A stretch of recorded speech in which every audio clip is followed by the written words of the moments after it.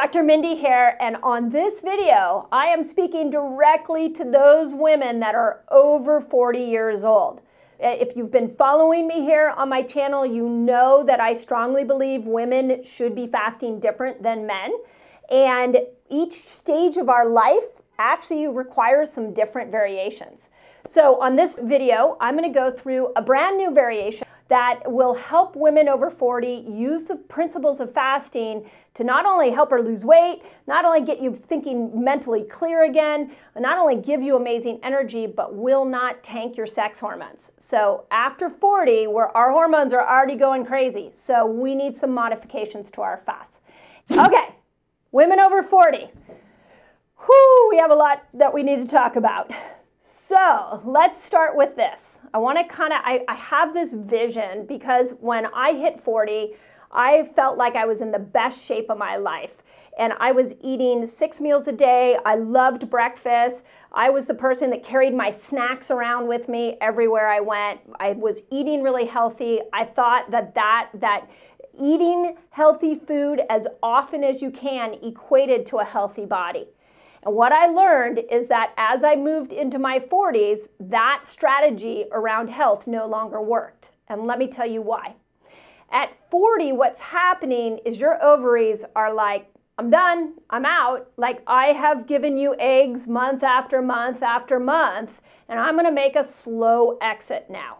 So as your ovaries start to wind down, it's not like it happens a course of a month or even a year. It takes for most of us about 10, 15 years for our ovaries to start to undo this miraculous job they've been doing for so long.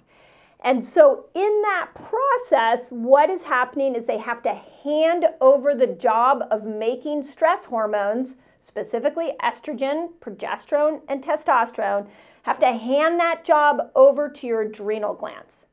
Now, think about this for a moment. If you are a rushing woman, if you are type A, stressed out, if you are an over-exerciser, if you're already not getting sleep, if stress is already at its max, and now you decide to take on fasting, which produces a cortisol reaction temporarily, you are likely to tank your estrogen, your progesterone, and your testosterone because your adrenals cannot handle the extra stress. So we've got to do this differently. So the first thing I want you to understand, and I know, you know, I'm 51 and I still am in disbelief that you know I'm in I'm in the middle I'm almost at the other end of menopause it's like I still feel like a 25 year old in my brain and I'm in disbelief that I have to adapt my lifestyle for menopause in my brain I was like well menopause is what my mother went through um, not what I'm going through but what I realize is that at 40 we have to change our lifestyle and fasting is a key part of changing that so I want to make sure you guys do it really effectively Okay, so the first thing I want you to understand is your physiology. Know these hormones are, uh, the uh, ovaries are kicking out, but I also want you to realize that you're going to be more susceptible to stress now than ever before. What you used to get away with at 35, you can't get away with at 45. You are going to have more adverse reactions to stress than ever before. The second thing that I want to talk about before I go into the, what I consider one of the best variations for women over 40 is that it's really important that you know your hormones. And there's a couple of ways that you can you can understand where your hormones are at. First is if you are perimenopausal and you still have a cycle, the minute day 1 hits, I want you tracking your cycle. So even if your cycle is every 60 days, every 90 days, I want you to track that cycle so that you know when your body's trying to make progesterone. Progesterone is our anti anxiety hormone. It is what calms us. It is also what will allow the uterine lining to shed so we can have a cycle. And what I'm hearing from a lot of women as they start to fast in their 40s is they lose their cycle. But they're just losing progesterone. So you need to know when you're supposed to get progesterone. And it's usually around day 20 of your cycle. So make sure you're tracking your cycle on something like a Clue app. The second thing, and this is for 50, 60, 70 year old women that are watching this video, um, I highly recommend that all women get a hormone test. And my favorite is called the Dutch test. The Dutch test will allow you to see which hormones are in jeopardy. So if we get a Dutch test back and your, your toxic estrogen is really high, there's certain fasts I'm going to recommend that you lean into to manage that toxic estrogen. You might need to do more autophagy fasting. If your progesterone levels are really low, then we need to modify your fasting schedule according to how low that progesterone is. So this is why something like a Dutch hormone test is so incredibly helpful. If you want to know more about the Dutch test, just put Dutch test in the uh, comments and my team will send you a link to that. So first thing is know your physiology. Second is know your, your hormones and where your hormonal profile is. And then the third one is really the meat of this video and something you can step into immediately.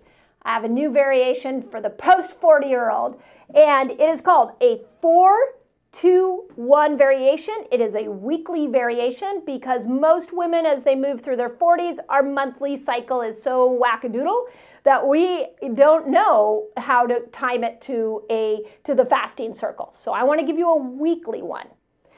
4 days a week, you're not going to intermittent fast if you thought I was going to say that.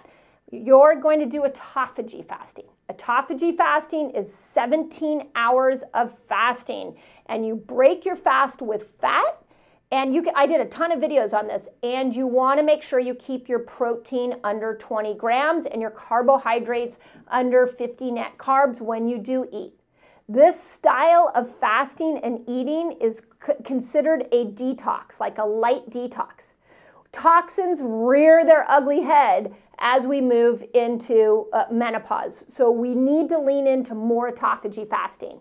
So in my post 40 year old variation, four days a week, you're going to do autophagy fasting.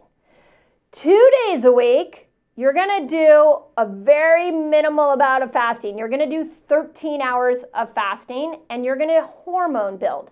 So, on these two days a week, you're trying to raise progesterone. So that the, the four days a week, you're trying to detoxify so that we can help with estrogen sensitivity, leptin sensitivity, many of the things I've taught here. Two days a week, we're gonna work on building progesterone, and you do that by 13 hours of fasting and then hormone building. We do not count macros on this day. We look at things like uh, adding more of the squashes and the beans and the tropical fruits, citrus fruits, Grass fed beef is great. Potatoes, sweet potatoes, these are progesterone building foods. I put a list of them in the Menopause Reset. So if you have a copy of the Menopause Reset, pull it out, look under the chapter that I say, Dear Progesterone, I'm sorry I took you for granted. It's my favorite chapter in the book. So if you don't have a copy of the Menopause Reset, it is out for pre-order right now. Just put Menopause Reset in the comments and we'll send you a link on how you can order it. So two days a week, we're going after progesterone. We're keeping our fast under 13 hours and we're leaning into hormone building foods. And then the last day, the last day, the 421, so the one, you're to go do a 24 hour fast. Why is this important to the perimenopausal and postmenopausal woman? Is because we have to take exceptional care of our gut.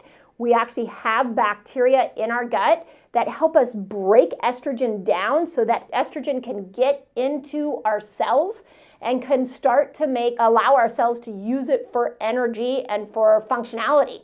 So if you're having hot flashes, if your mucosal membranes are really dry, if you have brain fog, you're not sleeping well, these can all be signs that your estrogen is too low. So we've got to take amazing care of what we call our estrobolome, which is the bacteria that break estrogen down, and the 24 hour fast does that really well.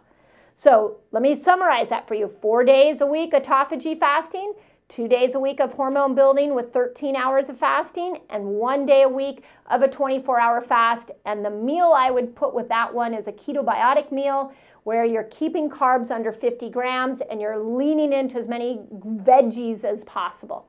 I, again, if you're new to these principles, go back and watch some of the videos I've done on women and fasting because we believe strongly. I'm trying to teach this to so many people that we need that fasting variation so that we don't get stuck with our results, we don't tank our sex hormones. And over 40, it's crazy. We have to do a lot of things different, and a fasting lifestyle is absolutely one of them. If you love that video and you want to dive into more, of the information I have on this channel, go to this video. So if we're eating the same way all the time, then we're going to get stuck and we might actually gain weight.